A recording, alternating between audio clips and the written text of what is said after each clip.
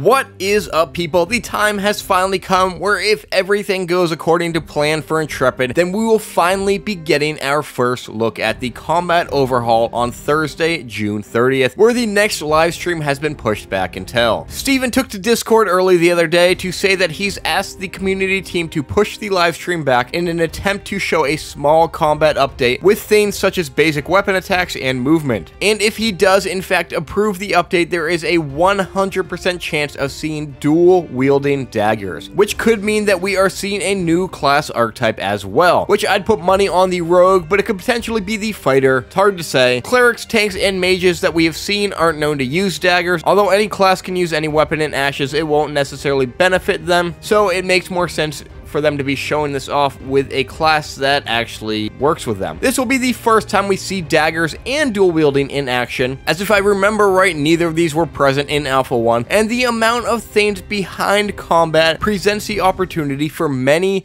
many reveals that we have not seen gameplay-wise, so this could be pretty huge. Combat in itself is something that will make or break the game, and something that was a big focus of the community in Alpha 1. As the hybrid system they showed didn't quite quite live up to the hype, and although cycling through cool visual effects looks good, it gets pretty stale pretty quickly, and it didn't really seem to have a huge action combat tie-in besides the auto-swinging of your weapon, but it was Alpha 1. They did add some changes later on to make it feel a bit smoother with enabling split body movement, but it's something that desperately needed the big overhaul. There is a chance though that this reveal will not be ready in time for the stream. This is not a 100% guarantee that they will be showing it, but Steven is pushing to give it to us. If we don't see it though, this means we will probably be getting a better preview in July. The combat reveal that we are getting isn't the big one that was originally discussed for being two to three months out either. They are now being broken up into smaller updates as this allows for Intrepid to get more specific feedback to reiterate on based on what they show on stream instead of throwing it all out there in the wild where the community will probably have a much broader take. When this is showcased this month, Intrepid will be starting with basic weapon attacks, visual effects, effects, player root and split body movement, and directional inputs. Hopefully what we see in the next few updates really sets the combat apart from other MMORPGs, giving us what I hope is a combination of WoW's tab targeting and Black Desert Online's action combat, which in my opinion are two of the best of both worlds. I am hoping though that it leans more towards the action side. I know you'll be able to switch between tab and action in the game, but I like Intrepid's idea of doing the hybrid system, although I think it's going to be very challenging for them to successfully pull off. And although I do enjoy tab targeting, it has really grown stale in recent years compared to action combat, having you feel more engaged with your foe with active blocking and swinging, feeling each swing of your sword impact the enemy you're fighting. Combat is a huge endeavor, and if Intrepid is getting ready to show it, then they may also be getting ready to test it as well. This is all speculation and nothing has actually been said, but combat is one of those features that I've always thought Intrepid would be opening up the spot testing for, as there are so many pieces to it, and they may need more more than just the small pool of their internal testers to really work it out. So the timing makes a lot of sense. But if not, then I really don't know what the spot testing will be for or if they are even still planning on opening the servers back up again before Alpha 2.